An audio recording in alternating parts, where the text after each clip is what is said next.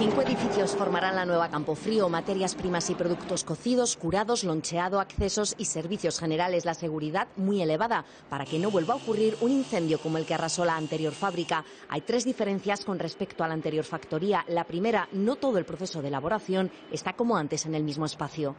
Tenemos el proceso separado por edificios y esos edificios están separados por unas calles exteriores, ¿vale? De, de forma que si hay un problema en uno de los edificios, esperamos que no, obviamente, eh, no se pueda extender al resto de edificios. Segunda, la estructura ahora es de hormigón prefabricado y no metálica. Tercera, los materiales están homologados con estándares de calidad altísimos. Otra novedad, los cimientos no son convencionales. Hay clavados en el suelo más de 7 kilómetros de pilotes. La nueva fábrica tendrá una superficie de 99.000 metros cuadrados. Nos cuentan que se están cumpliendo plazos y si todo sigue según lo previsto, estará operativa en el mes de noviembre.